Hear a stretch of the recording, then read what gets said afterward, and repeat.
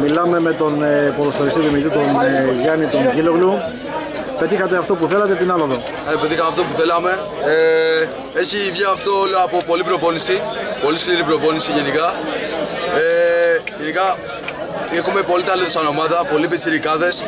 Πολλοί μας αμφισβητούσαν και δεν πιστεύαν σε εμάς. Τώρα δεν πιστεύουν στα μάτια τους.